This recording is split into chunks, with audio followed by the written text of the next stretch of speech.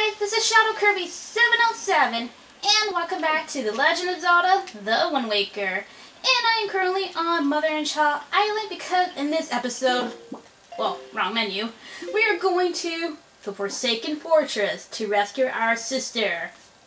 Try number two. so hopefully we can rescue oh, a real hello. I forgot about you. I think I got you already. Nope, I didn't. Good. Good thing I stopped by this island. So yeah, I did go to Mother and Child off screen. And cool, it's morning because I actually do want to show something once we get there. So anyways, um, yeah, in this part, we are finally gonna go to Forsaken Fortress to rescue Aryll. So anyways, uh, the wind is blowing northwest, which we are going to go. I would go and explore this island, but I think I'll save that for later because I really want to focus on going to the Forsaken Fortress. So, yeah. And is that a fairy island? Or is that this one right here, maybe? No, it's probably the southwest one. Yeah, it's probably Fairy Island, so yeah. But anyways, yeah, we're going to the Forsaken Fortress. And there are a bunch of cannon ships just trying to protect this place. And not to mention bomb barrels. So you do have to watch out for, well, barrels and explosives and cannon ships. So yeah, obviously this place is being protected because of reasons. So yeah, there's a bunch of bomb barrels, so you do kind of want to veer to any direction just to avoid the explosion. And also, once we get near to the Forsaken Fortress, um, right now it's daytime, which is perfect time because there is actually something I want to show off. If you do try to come to the Forsaken Fortress during the daytime, and believe me, uh, everyone try this, but there's a reason why this happens. So anyways, as we go near the Forsaken Fortress, you will notice that once we get near the Forsaken Fortress, during the day, um, if it will load up, you see spotlight during the day. But if we try to go near it, yeah, it immediately turns nighttime. And I believe if I try to change it to the daytime, I think it won't work. Kind of like what happened to the Curse C segment.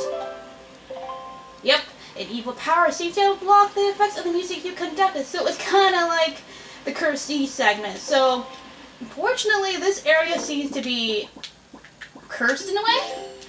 I mean, there's a reason why, which we will probably see in this episode, hopefully. But, yeah. But anyways, uh, do not worry about the spotlight spotting you, because we are now more powerful to pretty much bust through this place. So yeah, and you don't need to bomb all the cans. All you need to do is find the entrance and bomb it. so we got plenty of bomb. You can bomb this. And there we go. A couple of shots and then you're in. So there we go. We're infiltrating the Forsaken Fortress. And this time we're going to be more stealthy. Well, kind of. Ganon has likely been made aware of our little incursion already. But you have the Master Sword. That sword shall shine in the darkness, casting back evil. With it in your hands, none can keep you from rescuing your sister. Do not be afraid. I'm not af afraid. I say that as shots are being fired. But anyways, we are back in the Forsaken Fortress. Um, a little bit different from this time around. This time we don't have Tetra, you know, telling us what to do. So we have our own free will to really explore. And don't worry about being caught in the spotlight. Because if we go near this door, we have ourselves a battle. Anyway guys, say hello to Phantom Ganon. If you guys are familiar with the fight of the Forest Temple boss in Ocarina of Time, this should seem rather familiar. All you gotta do is play tennis with Phantom Ganon until he gets struck, and then once he does get struck, you do want to attack him, and I completely missed, but I did get some decent hits. And yeah, don't worry about the... Oh, oh I could have had it right there. Anyway, don't worry about the spotlight spotting you. Haha, yeah, gotcha, Phantom Ganon, yeah. So yeah, um, Phantom Ganon, he's not really much, uh, uh, threat to be worried about. He's actually quite easy to defeat. So all you gotta do is just deflect his powers back at him, and wow, two rounds of hitting him, and he's done. You're a pushover, Phantom Ganon, is all you got. Anyway, Phantom Ganon is unfortunately not defeated, but he does disappear. I have a feeling we'll be seeing him again. Anyways, after defeating Phantom Ganon, the doors will unlock. Not only that, but we get a spiky treasure chest. And this, uh, we got spotted. Insert Metal Gear Solid noise. Anyways, if we do go and collect our prize, we get a fabulous item, which is the Skull Hammer. So the XYZ, this mighty hammer can break things and pound obstacles into the ground. Some enemies even get stunned by the shockwaves it causes when you pound the ground with it. The Skull Hammer, this is one of the items that we actually do need to go to the Fairy Island. It's actually very powerful. It is actually quite a fine item, I will admit. And we have Miniblins. But the Miniblins, um, or not the Miniblin, but the skull hammer, you can squash, you know, enemies, at least that are weak to you. But there's one more thing you can do with the skull hammer, if I can show it off. Um, I want to show it off real quick. No, I want to show it off. No, I want to show it off. You can actually swing it like a baseball bat. I love that, especially with the Miniblin. I love that. It's amazing. So yeah, um, with the skull hammer you can actually bash those uh, pedestals. And uh, yeah, that's pretty much it. You guys are gonna follow me. Hey, you wanna be batted? No, I wanna do it! Whee! I love that. I love that. That is purely amazing. Um, you could technically take care of the spotlight, but there's one specific that we want to take care of, which is up here. That one we kind of, well, not really, you don't have to, but it's kind of recommended to. But uh, yeah, I think I might want to take care of that spotlight first. But pretty much, uh, we're back in the Forsaken Fortress. It, holy crap, you're really going really fast. um, yeah, uh, we're back in the Forsaken Fortress. Pretty much everything is kind of in the way the same. If you didn't collect that harpy that we got, the first one, um, you can't collect it again. And I missed this treasure for some reason, huh? Probably nothing, it's probably just money, and I could have collected that joy pin from that guy, but oh well. Wait, is this a compass or a map that I forgot the first time around? it's a compass I forgot, but who cares? I mean, there's nothing important in this uh, Forsaken Fortress, so we're just gonna stroll through this place, and yeah, pretty much it. So yeah, pretty much everything is still the same. They've changed some obstacles in this place, but not really much of a difference. But yeah, um, I do want to take care of the spotlight. I don't know, you don't really have to, but I'm going to do it anyways because uh, um, getting through that wall will be difficult. If I am I on the wrong section, right section? No, I'm not. Or maybe I am. Look, actually, yes I am. That's right here. All right, I want to get my uh, gravity hook real quick because I do want to take care of this guy's. Um, Joy pendant. I want it. Come here, sir. Can I actually hit you with the skull hammer? No! Out! Dang it. You know what? You're being squashed, or rather hit. Can I? I. Dang it. I wanted to swing like a baseball bat at him. But yeah, that takes care of that important spotlight. You don't really have to. There is another um, quick way to get through that. It's by just changing the wind direction and use the Deku Leaf. But I might as well um, just take care of that spotlight. But since we have this Master Sword now, and we're completely filled with weapons, we can pretty much pummel through this place, so... No troubles at all sneaking around. And yeah, we do have, um, pretty much bomb rats down there, yeah, bomb shoes. And also, they did get rid of the ropes that you're supposed to swing by, but, eh, we can use the Leaf, so it's really no challenge at all, to be honest. Oh, those statues right there? That you see right on top right there, those can actually zap you, or at least come alive. And it's kind of freaky actually.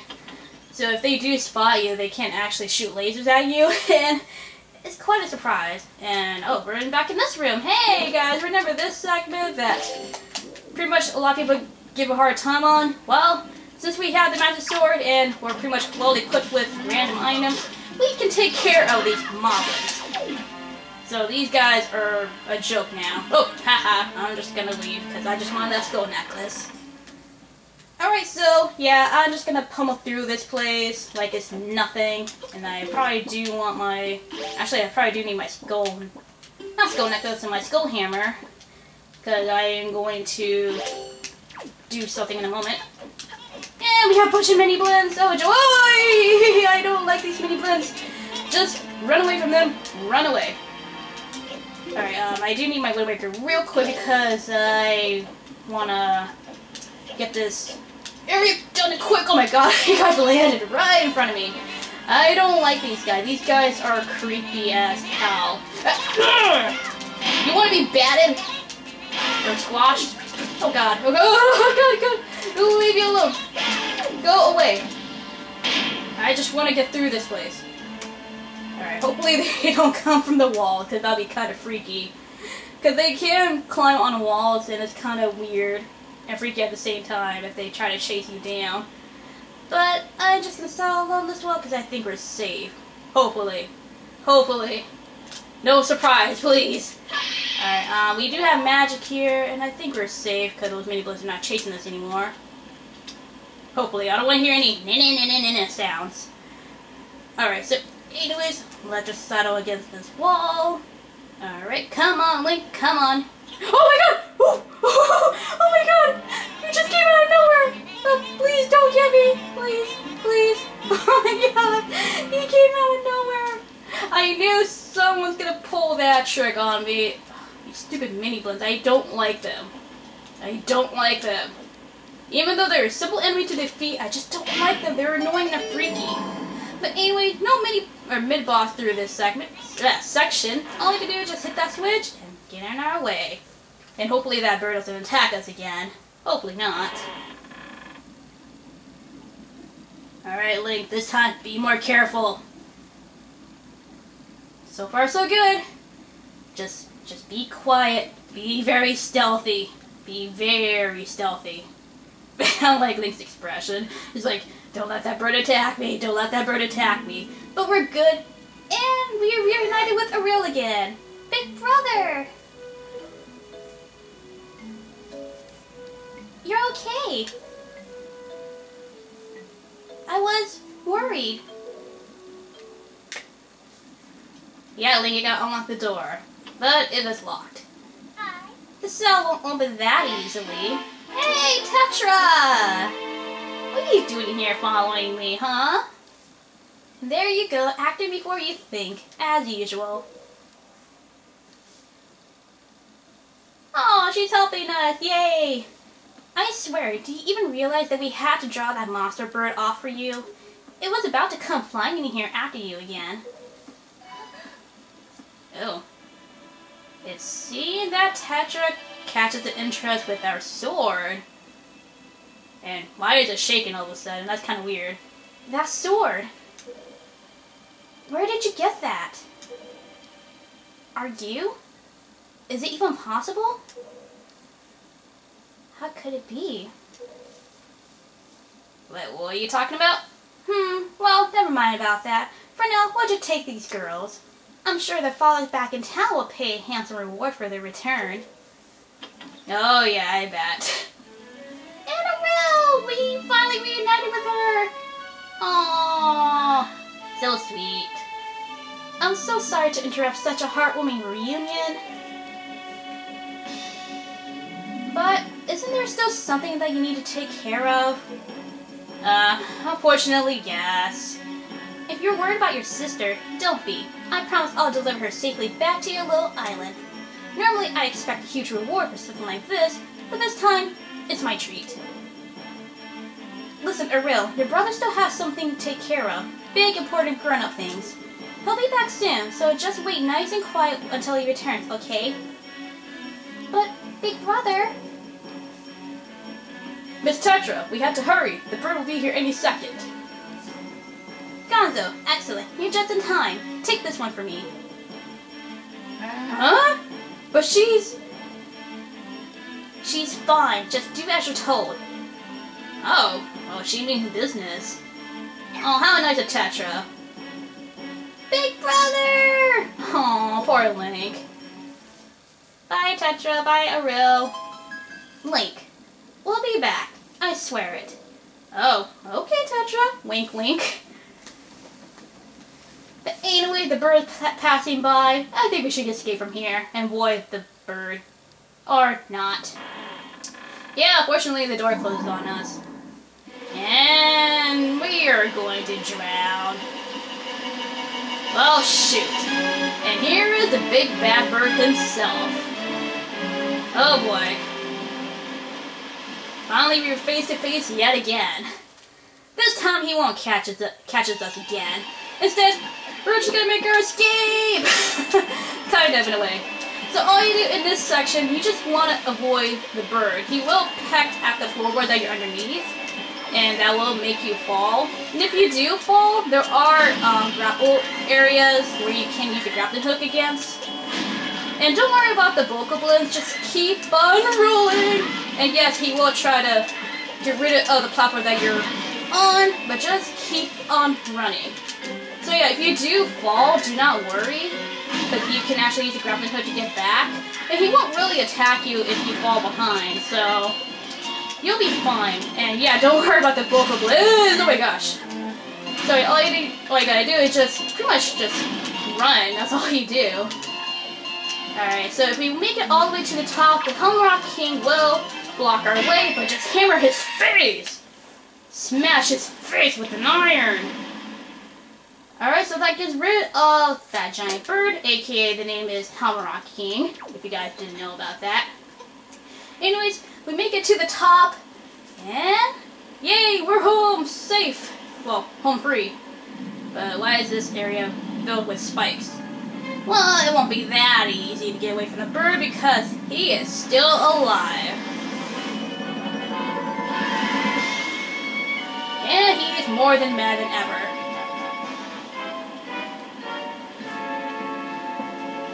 Oh boy, jeez. And yeah, we're in a battle with the Helmaroc King. So pretty much, you can't really do much in this battle. All you gotta do is just wait for the Helmaroc King to land. And once he does land, you want to have your skull hammer ready and let him peck at you and hammer his face. Unfortunately, you can't do it twice. You have to kind of wait. Oh, giving me another try to hit him. Nice. Well, this makes this battle a lot more quicker, so that's good. Now, there's a funny thing in this battle. He can actually run into this wall and, well, get hurt. It's kind of like a little comedic thing in this battle, but it's funny to see if I can show it off. And if he doesn't show off, that's okay. But, okay. Come on, peck at me, bro. Oh, you're trying to stomp on me. Okay. Okay, come on. Yes. Alright, and smash his face with an iron. Alright, come on. Oh, oh, oh, oh. Okay. I kind of hope that he does show that off because it's actually kind of funny to see. Um, he's gonna show it off. Yes! he ran into the wall. That was quite funny. I love that. Thank you for showing that off for me, Helmaroc Thank you. Oh, he's doing it again! he does run into the wall twice! He ran into it twice. That is hilarious. I love this guy. He's so funny. Alright, is he gonna do it again? Yes, he is. Okay, stop. Three times in a row. Alright, are you gonna come here and attack me or not? Not. What, what the heck am I saying? Not. Uh, he's gonna do it again. And, okay, this time he missed. Okay. No fourth time's the charm, but I do want you to come down here and attack me, sir. Please. I'm like waiting for you to land. Alright, he's gonna hit and hammer his face. And since we got rid of his armor, now we can attack him. And I swing at him! swing at him! I wonder if the skull hammer does more damage than the massive sword, but I'm going to hammer him. I'm just gonna use the hammer all the way through. Come on. Yeah. Yeah, I'm gonna use the hammer. I'm not gonna use the sword. yes! No sword run in this boss fight. Well, you kind of do have to use the sword at some point in the game. But yeah, that boss battle was done without using the sword. That is amazing. Anyways, with that, light is shining upon the Helmaroc King and he explodes. And we get our heart container! Awesome! And the gates are open. Anyways, by defeating Helmaroc King, we get another heart container! Which means we got 15! Yeah, 15! Awesome! Halfway, we're almost done with our heart containers, guys! We're almost done! It's almost filled! I'm so happy! Anyways, guys, in the next part, yes, I ain't going to stop it here because it's going to be a long episode, but in the next part, we will see what's up here and be the shadow of the fortress. Anyways, guys, I will see you guys then. So, this is Shadow Kirby 707 saying